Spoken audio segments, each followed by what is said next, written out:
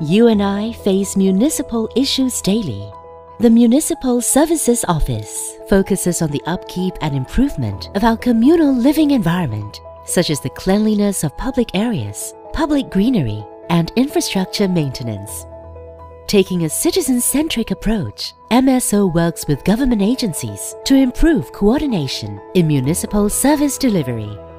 Together, MSO and partner agencies form the OneService Network.